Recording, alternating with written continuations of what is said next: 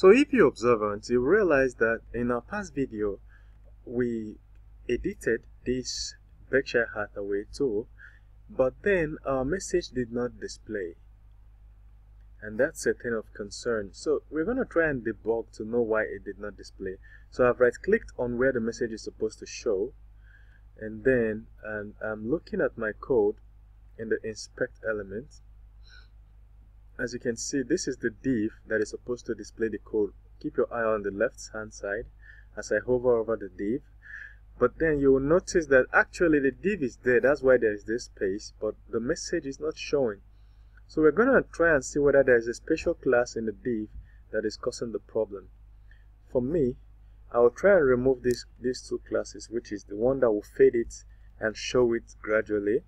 Once I remove them I click somewhere outside here and uh, of course the message displays. So I now know what is the problem, which means I can go to my code and actually remove the message.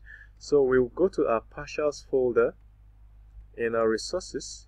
We scroll to the partials folder and we go to success message.